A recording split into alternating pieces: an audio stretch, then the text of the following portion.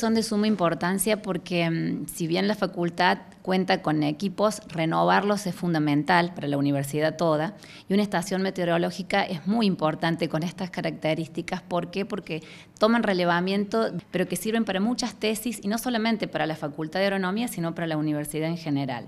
Por otra parte, este equipo fue eh, adquirido con una empresa de Buenos Aires, es un equipo muy moderno, que se pueden tomar em, datos satelitales.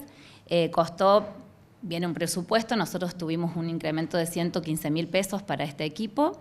Se logró, sí, con sus eh, complicaciones, pero bueno, ya está instalado desde hace dos días.